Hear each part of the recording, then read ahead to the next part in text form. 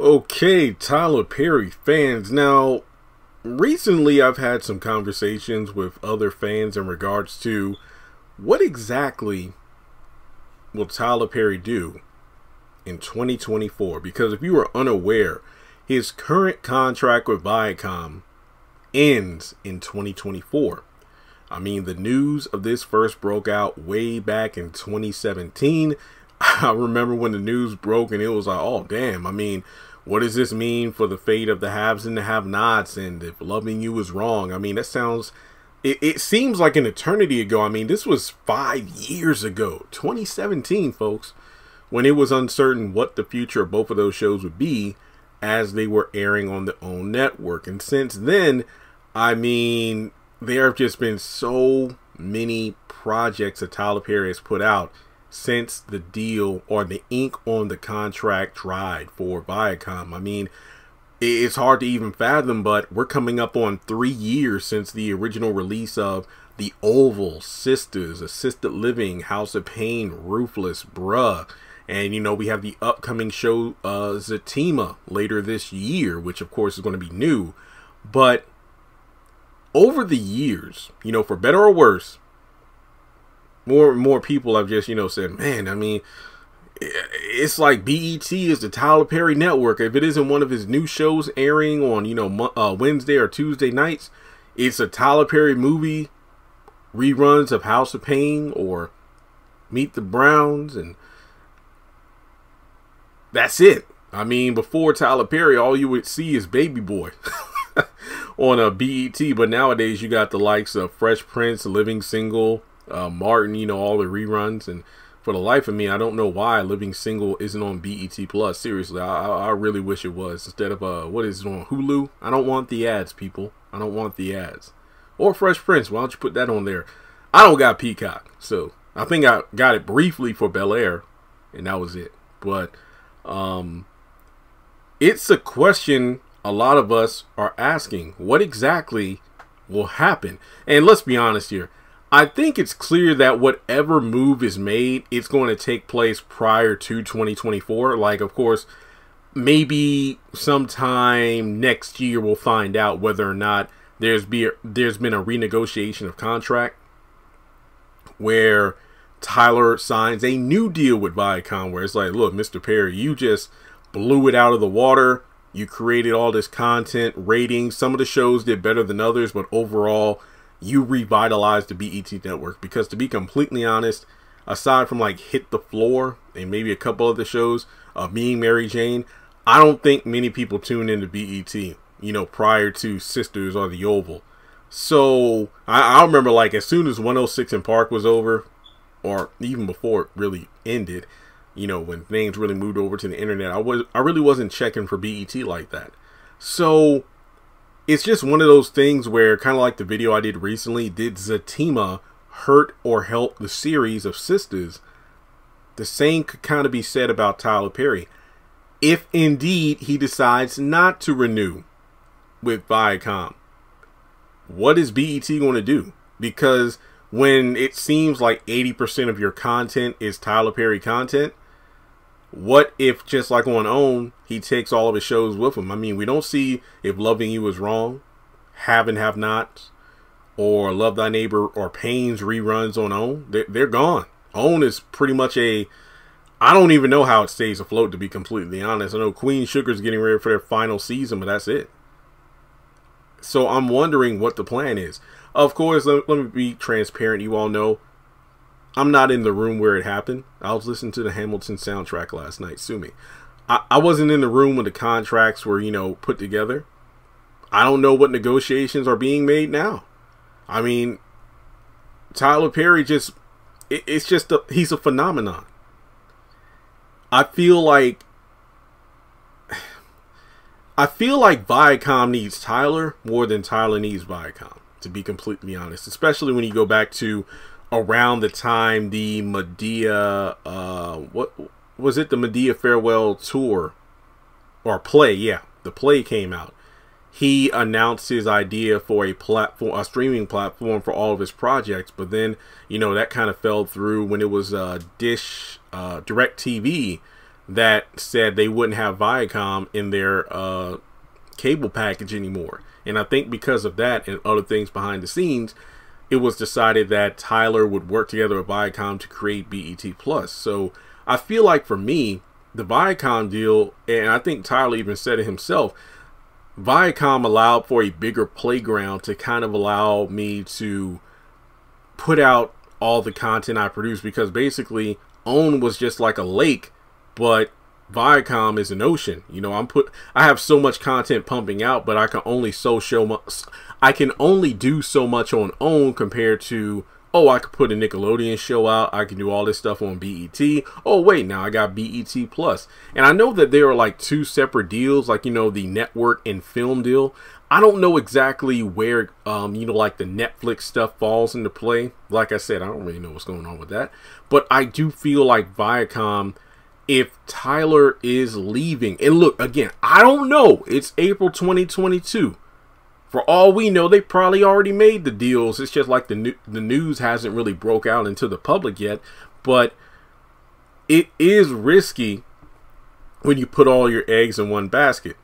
I mean, same thing was, you know, go back maybe a few years on the channel when people like, hey man, uh, are, are you ever going to do anything outside of the haves and the have-nots? And what if I didn't do it? What if I only reviewed that show? as soon as the show came to an end last year, I would have been screwed. I'm like, damn, what am I going to do? But I eventually branched out. If Loving You is Wrong, Greenleaf, and of course all these other shows on uh, BET has now. It's just one of those things where Viacom might be in trouble, specifically BET. Because think of it this way the thing about Tyler Perry, let's put the quality aside. Look, because I know that's a whole nother discussion itself. You know, oh, he's doing all these shows, but they aren't good. The way he films and produces content, nobody else does it like him. He could put out like a hundred episodes of a show in the same time that it would take, you know, major networks and companies to put out one season. Like I said, put the quality aside, but the fact that Tyler does everything himself on his own studio lot, so it's not like he has to pay for location and whatnot. And like I said, I really don't know all the details about how this stuff works, but it seems that the cost effectiveness of letting Tyler Perry do his thing is a lot is less for like the companies to lose. So I feel like maybe Viacom, you know, with the deal they give Tyler a certain budget and then Tyler takes that, does what he does on the studio, and then boom, here you go. I just filmed like a three shows, so you got three seasons or one year's worth of material, and I did that in less than a month. And you know, when it comes to like major networks and whatnot, like CW or you know uh, Fox or something, usually it takes them like a, a couple weeks to film one episode.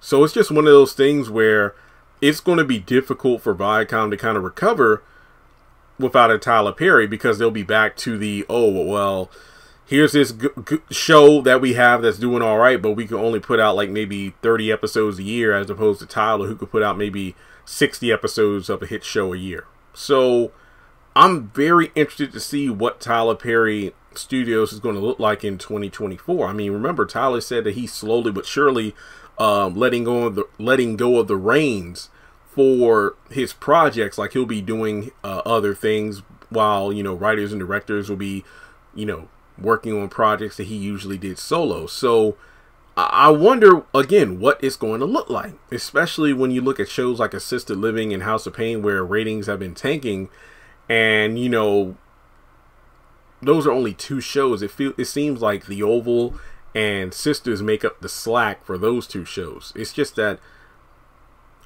I really am curious to see what a new deal will look like, given how lucrative this Viacom deal was in 2024 with all the success Tyler Perry has had, damn. At, at, this point, it's like people have said, just give the man his own network. But it seemed, and this just this was a discussion I had way back during the deal uh, when it first came out, or maybe not just when it first came out, but when you know Sistas was really taking off. And the conversation I had with somebody kind of revolved around the subject of. I think maybe Tyler linked up with Viacom due to the fact that it was less of a burden for him. Think of it this way it's more of a risk to invest money in your own network to put out your own product. Like, yeah, you got an audience, but it's a risk of okay, will the ratings be high enough? Will there be a lot of return on my investment? But when you work with an already established network that could use somebody with your talents, as well as you maintaining ownership, which is Tyler's big word here, while you maintain ownership of your intellectual property, why would I run the risk of investing money in creating my own network when an already established network wants me to work with them? Hey, hey, you work with us, we'll do things OWN wouldn't do for you. You could put out as much content as you want. You can make movies. Oh, that streaming platform that you had, why don't you link up with us? We'll create one together. I don't blame them. I don't blame I don't blame Tyler Perry for doing that. But the thing is, we're moving to 2024. What what's the game plan? I mean, of course, I don't know what happens, um, you know, on the phone or behind doors and meetings and whatnot. So as far as I can tell, it seems that you know Viacom and Tyler are doing very good together. It's not like uh, the tensions that we know that Tyler had with um, OWN and TBS when it came to like Oprah or TBS executive telling him, hey, you know, uh, the season start this these shows started off well, but you know ratings and just the fan reception has declined, and we had some test audiences, and they figured that if you had other writers and what, nope, nope, no, I'm doing it my way. So I don't think that's happened yet on BET. And the thing is, well, something happening because Tyler says he's getting new writers. Well, he hasn't let go of all the shows completely. And to be completely honest, well, hey, Sistas is a hit the oval that mm, mm, mm, so it's just one of those things where and he's getting older you know he's past 50 he has a son he's really ready to i don't want to say retire but kind of slow things down and not have as much pressure on himself when it's like look the studio is just extremely successful i'm a freaking billionaire. I think it's time for me to you know kind of take the next generation of writers and directors under my wing. So there you go. But I'm very curious to see what's going to happen in a couple years from now, if not next year. So, what do you think? Do you think Viacom is going to renegotiate with Tyler Perry? Uh, do you think Tyler's going to say thanks, but no thanks? Let me do my own thing. Create his own network, create his own platform.